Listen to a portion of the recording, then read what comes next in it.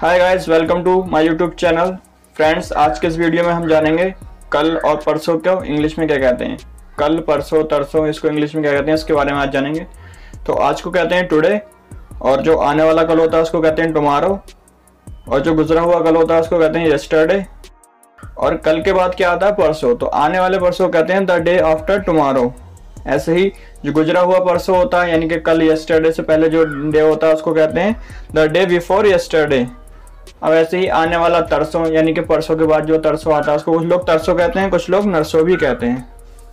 तो आने वाला तरसों को कहते हैं in two days time in two days time ऐसे ही गुजरा हुआ परसों या तरसों, इसको इंग्लिश में कहते हैं two days before two days before दोपहर को कहते हैं मिड डे और आधी रात को कहते हैं मिड नाइट फ्रेंड्स कैसा लगा वीडियो? उम्मीद करता हूँ पसंद आया होगा। Thanks for watching